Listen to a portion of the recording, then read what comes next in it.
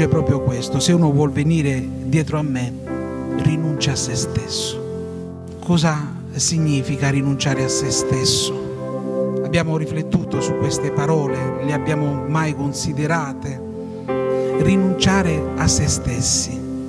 E questa è diciamo la prima clausola che viene richiesta per poter essere dei seguaci di Cristo. E rinunciare a noi stessi significa mettere Dio al primo posto, affidare a Dio il controllo della nostra vita, lasciare che sia Lui che ci dia i progetti, che sia Lui che ci dia un prospetto di quella che sarà la nostra vita futura. Non cercheremo più noi di seguire le nostre ambizioni, non cercheremo più di soddisfare la nostra carne, ma quando siamo disposti a rinunciare a noi stessi significa che abbiamo allargato tutto il nostro cuore, che Dio può prendere tutto quello che è nostro e usarsi dei talenti, dei doni, delle capacità anche quelle derivate dalle nostre esperienze di vita, per poterle usare alla sua lode e gloria. Amen.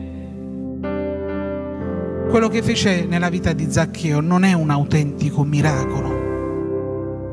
Quando lui si sente in cuore di rinunciare a tutto ciò che era stato lo scopo centrale della sua vita, rinuncia a tutto.